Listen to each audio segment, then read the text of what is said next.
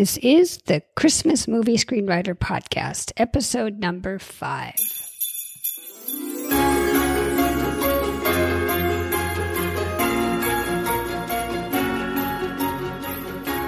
Hello, and welcome to the Christmas Movie Screenwriter Podcast. I'm your host, Caryn McCann. Christmas Movie Screenwriter is a podcast about writing, producing, and selling Christmas movies. I publish a transcript with every episode if you want to read something later. Just go to the website at www.christmasmoviescreenwriter.com. A quick few words about what I'm working on. I was just at the AFM, the American Film Market, the last few days. One thing I learned was that I need to attend more seminars. I stood in line with two other filmmakers and we chatted for about half an hour while in line. It was great. There was no pressure to pitch, and I felt we all learned something from each other. Many times I focus on meeting exhibitors and not networking with other filmmakers. So, lesson learned. On the script front, I had a fantastic reception for my projects. So, writers, it's worth knocking on doors even if you don't have a scheduled meeting. Writers tend to be introverts, so it's a bit of a challenge to cold call producers. But it worked for me, and I hope to have good news soon. Our guest today is screenwriter producer Samantha Herman. She has 10 produced Hallmark movies under her belt. Now, just a note this interview was recorded before the end of the writer's strike. Here is the interview. Today's guest is Samantha Herman. Making people laugh was always Samantha's primary pursuit. With that ultimate goal in mind, she also decided to academically foster her passion, studying English and film at the University of Toronto in her hometown. Traveling towards Hollywood, she paused in Chicago, where she graduated cum laude from Loyola University Chicago Law School. Finally, she moved to LA in 2010 with her California bar license in hand. Since then, Samantha has produced a number of short films, music videos, television pilots, and three features. As a screenwriter, Samantha has found success in the romantic comedy genre with 10 produced Hallmark Channel films under her belt and many more in development for Hallmark and various streamers. Due to a bet, she also wrote a romance novel and self published it on Amazon. Well, Samantha, thank you so much for coming on the show today. Thank you for having me. Now, can you take a minute and tell us about yourself and your work? Um, sure. So, as you mentioned, I'm from Toronto, but I knew I wanted to come for the bright lights of Hollywood. So, I made my way down here in 2010, um, initially as a lawyer. Um, and then once I got my foothold in the screenwriting portion of my career, which I'm sure we'll get to in further mm-hmm. detail, um, that's been more of the primary expenditure of my time. And now, of course, as probably our, all your listeners know, we're on strike. So, yeah, right. slows down for the moment. Uh, so you can't.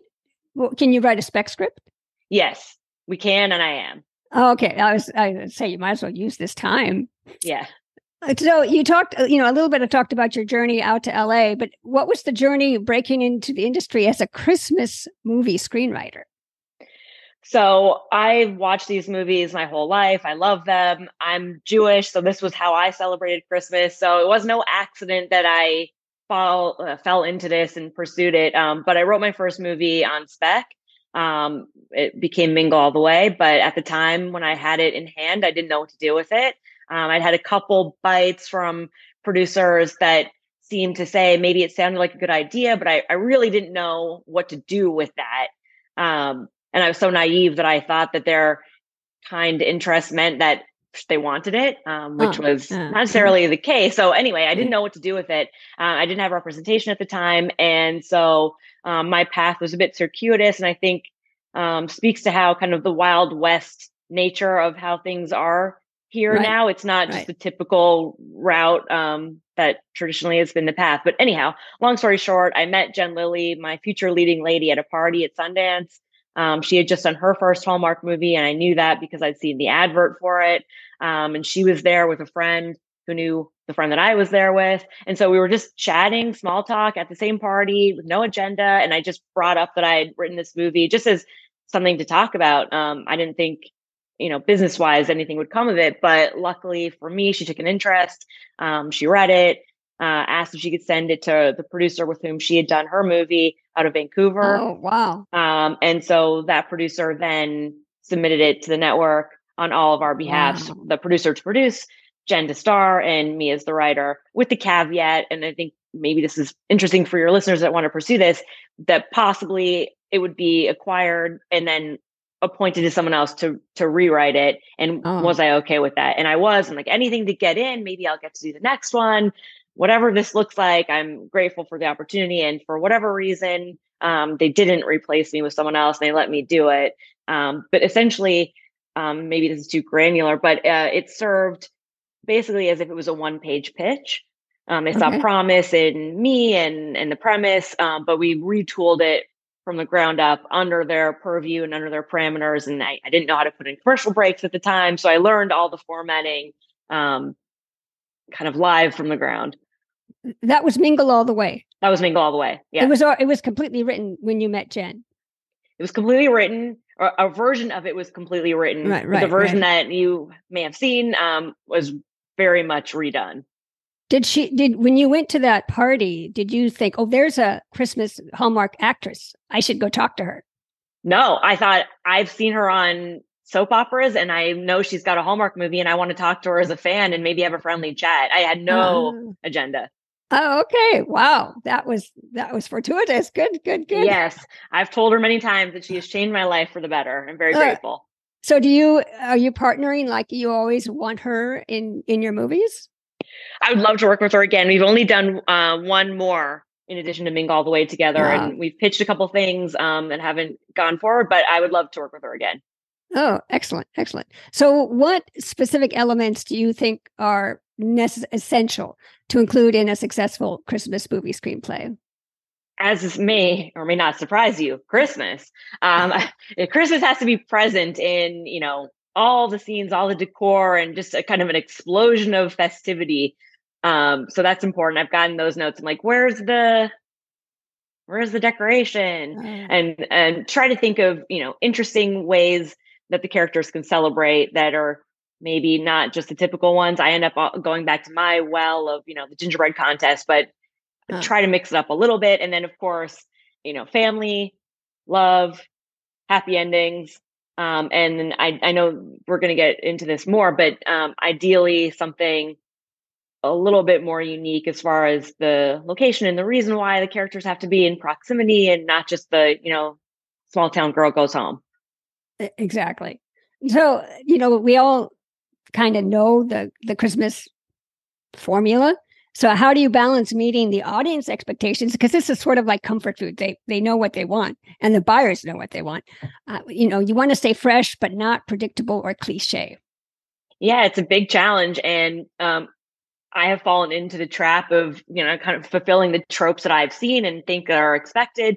Um, and as I just said, you know, it used to be small town girl or small town boy has moved to the big city. They go back uh, and, you know, reconnect with their high school boyfriend and abandon their careers and Whoa. resettle back there, which and then suddenly get engaged or whatever. Um, so try not to do all of that. And fortunately, um, especially in the Hallmark space, they've been um, very interested and welcoming of you know more grounded and real world dynamics. So it's not just the snow globe idyllic version of of our leading lady and our leading man. They still have to be likable and rootable.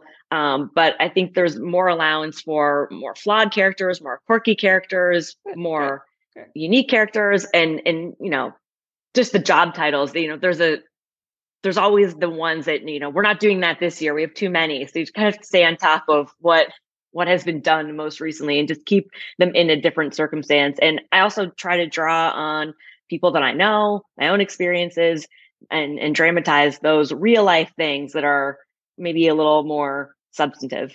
Right. Now if you're writing a script on spec uh, and you've finished it it's you've had people read it it's ready to go out what's the next step? How do you move it into how, how do you help move it into production? So it's a good question. Um, for the most part the christmas ones that i do are commissioned and so i know who they belong to and that they're hopefully going to go forward within you know the hands of the people that asked for it. But i do write on my own from time to time and now i am um, during our strike period. I think um, first of all, get other people to read it before you might think it's ready. Uh, yeah. And I've fallen into that myself, but uh, it really needs some fresh eyes. um, and hopefully you can find people that are in the industry or appreciate the industry so they know what a script should look like and, and get that feedback and go through a few re- revisions before it actually is you know fully baked um, and then at that point i think attachments are really key right now so uh, a director or a producer or a talent that you can have belong to the project to then shepherd it forward and say, hey, they want to do it. I think that's an asset, but you don't want to do too much of that. There's a fine line because you don't want it to be too encumbered. So, you know, maybe right, right. The, the buyer won't want that person. Um, but I think when you're first starting, I mean, that's what I did with Jen and it was instrumental. Um, and I think maybe you have other questions towards this, but you know, networking is right. It, it's everything in this career. It's all relationship based is when you're getting these producers or actors or directors is that just with a letter of intent or it's actual contract? As far as their attachment? Uh, yeah it yeah. can be casual. Yeah. Okay letter so right so i would think that wouldn't scare away a buyer because letter of intent i mean of course the relationship would be hurt i think if they if yes. the, a big actress said yes i want to do your movie and the, and the buyer's like uh, no and you have to go back to your friend and say guess what you want this bit part? Yeah, yeah. that's that's absolutely right. Yeah. So, uh, side question, when, just so our audience knows, uh, you know, they could look forward to someday being in your shoes when you are commissioned uh, to write a script. Can you tell us like the timeline? Like when do you uh, how, do they want a treatment? How long do you get? How long does it take? Do you get to write the script? Is it what's the process? Yeah, so just Hallmark specifically, and I've done stuff for CBS, and I'll just speak to Hallmark because that's most of my experience. There are three avenues that I have found um, work with them. Number one is you pitch your own idea um, verbally or maybe a, a, paragraph or a blurb, and they like it, and then you have a larger conversation. That's one road. One is the project is already greenlit with a producer, and they need someone to execute on it, and you might be called in to basically audition to see if you're the right person for the part and you would mm-hmm. say this is my take on what the blurb that you've provided is um, and you might be chosen. Um, and the third way is to come on as a rewriter for something that's already uh, ongoing. Um, and same thing you would say here's what i think might need to be reworked. Here's what i would do with it. Um, so i'm calling it auditioning but it's really like pitching on the project. Um, and right. so basically in all cases once you get through that first wave of the gauntlet, they for the most part do want an outline. Um, and it can be bullets, paragraphs. That doesn't seem to be, you know, preferential in either way, but they want to see what are the highlight milestone moments, what are the act breaks, um, you know, as far as you know, the cliffhangers going out of the, you know, into commercial. Um, what are the character arcs? How do the the leads impact each other to result in that arc concluding? In a happy way. And there's a lot of backstory that they like to hear. Um, so that all goes into the outline, and you might go through that a couple times before you're released into the wild. And that's what I'm calling my bunker to write the first mm-hmm. draft. Um, and it, timeline, it, there can be a lot of stop and wait and then go. Um, usually the outline a couple weeks, and then you might hear right away adjust this or go forward.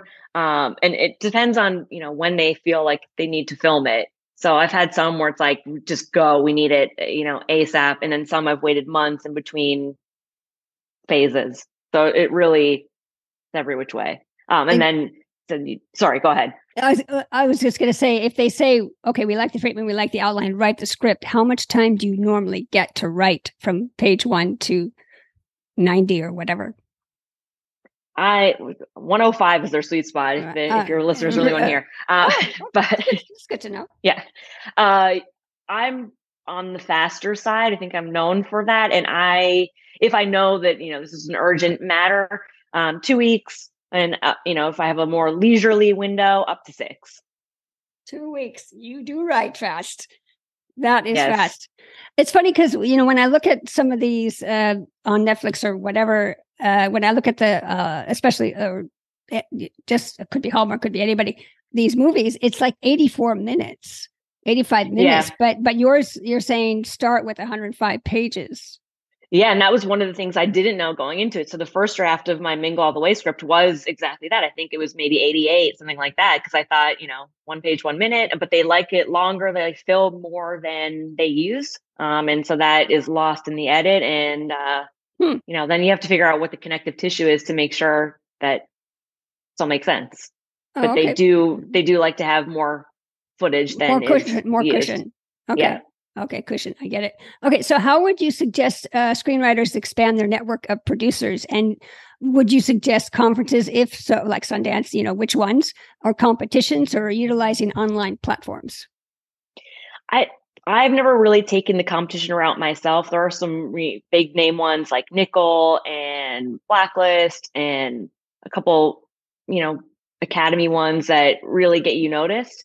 Um, and then the other ones, it's kind of a crapshoot of, you know, is it just a money grab for the entry fee or do people really source from it? So I would suggest that if your audience listeners see one, just to vet it a little bit, see if anything has actually come out of it, maybe try and ask around if someone has participated in it and see what their experience is. Um, but there's nothing wrong with doing the competition route. I think there's value in getting your name out there, getting reads. Um, conferences, I would equate that with film festivals. And yeah, for sure. It's an amazing outlet to see films, meet people, there's parties, um, people are interested in talking about film. So it's, and it's a conversational way to do it. Um, it doesn't feel as formal. So I think those are great places to go and meet people. Um, and online wise, I think IMDb Pro is something that everyone mm. who's trying to do this should have. It's the it's the paid version of IMDb, and you can find contact information for just about anybody. Right. Um, and uh, when I do my uh, mentor group, I say, "Don't ask, don't get," um, and that is my mantra. Uh, in a nice, yeah. polite, I, I like that. You know, succinct way. Um, and there's, I've had people reach out to me cold and ask for a conversation, and I'll talk to anybody. Um, if I have, you know, if I'm able right. to. Right. Um, and I, I have done that as the as the requester as well, and I've had those conversations. So I think if you go into that with no firm agenda, but just wanting to meet someone, wanting to hear their experience and right, right. and you know, come in with something specific. I've gotten the ones that are like clearly BCC'd to like a hundred people. My recommendation is give the two minutes of extra effort to, you know, right. put in something where it looks like you know who you're sending it to. Besides, and, uh, uh, go ahead. Besides, what? oh, and just just you never know what's going to come from that and you never know like what assistant today is the executive of tomorrow exactly. so these relationships all matter and they all add up even if that opportunity isn't the following week right you just never know you know it's a long it's a long game in this biz and it's you know talent is good hard work is good but relationships are I 90% oh that's yeah that, that's great that's great so you mentioned um, film markets, film festivals. Besides Sundance, are there others that you recommend? I mean, I'm biased because I'm from Toronto, but I always go. Okay. Except for this year, back for okay. TIFF. Um, okay. There's, uh, you know, LA Film Festival. I, I don't know, you know, Austin Film Festival um, is a good one. I've never been to it, but I would love to.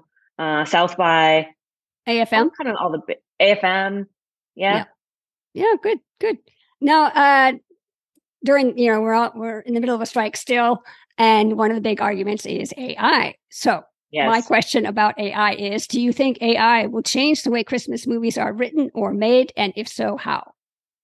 I think it's possible, and I'm frightened by that, and, and you know, not just the Christmas of it all, but the storytelling as a whole. I mean, it's one of the oldest things that we've done as human beings, and right. to have a robot, I mean, I don't know the terminology, I'm not yeah, techie, yeah. take over for that, I think is just a shame and a blight on right on what era we're in right now. Um, I'm hoping it's not going to take over to the extent that you know Skynet becomes real, um, but I think it's possible that um, you know algorithmically there might be pitches. Um, there, wow. I think it's possible that a first draft could be written, but it would have no soul. It would have no right. life experience. Right. It would have right. no nuance. Um, and it, it, they can't reflect an authentic human person or experience. And so I'm hoping that it won't, but I fear that it will, especially at the, you know, like I was mentioning the the blurbs. Right. Right. At, at that phase, I think it could have an impact, but I hope I hope not. Yeah, eh, yeah, you and me both. So what now you you you got a ton of work. So what what is your favorite script? I know it's hard to pick one. What's your favorite script that you've written and why? Um, I think I'd have to pick between two. Mingle because it was the first one I learned so much and I had such passion for it, and it was a nerve wracking experience. I was, I really didn't want to mess it up. I knew that if I did a good job or a good enough job, they would have me back. Um, so it was an amazing learning experience, and it was just you know the most fun because I was just jumping into this new pool. Um, and then to have it with Jen and I got to go and I think it turned wow. out well. Uh, that one, I, you know, it's precious to me. Um, and then I have a new one on the go uh, called Christmas, Christmas, Christmas. Um, and that one was a bit of fun for me because it's multiversal, like sliding doorsy a little bit. So I got oh, to stretch neat. some genre. Um, oh, and so wow. that one is um, with producers and hopefully we'll find a home, maybe has found a home during this time. Um. And uh, hope that will see the light of day in the next year or so. Uh, that's a great idea. Thank I, you. I, I, like it's very very unique. There you go. You've already sold me, and just just just two words, sliding three words, Christmas sliding doors. That, yes, that could, be, that could be your title. uh, Christmas, Christmas, Christmas. Okay, um, okay. Now, getting a movie made, uh, as you just mentioned, can be very stressful. Uh, so, what do you do to you know maintain a work life balance? And what kind? Do you have any hobbies?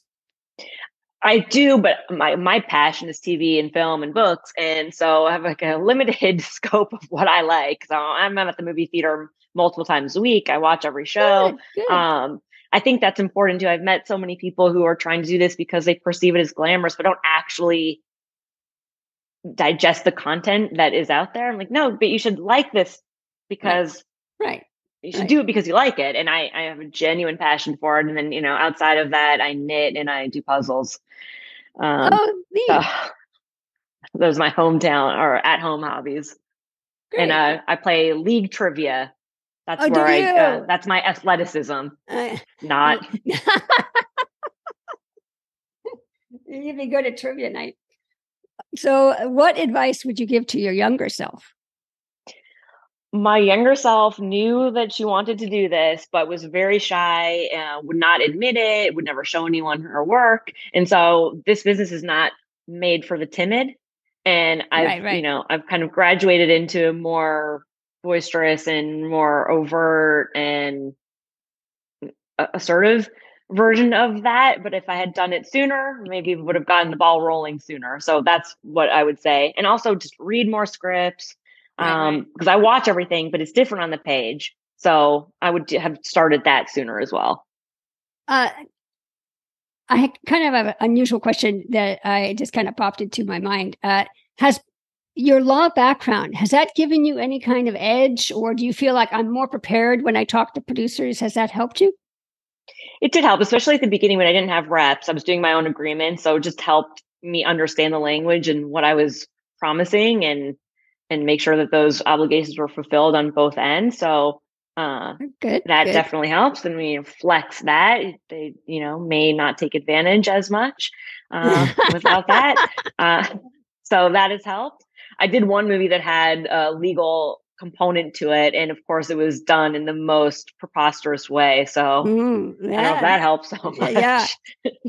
Are you are uh, you doing any? Are you are you working as a lawyer representing anyone, or is it is it just I have this great background in education?